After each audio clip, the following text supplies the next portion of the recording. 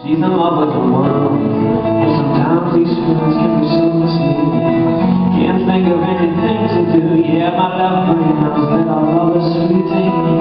She's just looking for something new, and I said it once before, but it bears repeating. Red hair.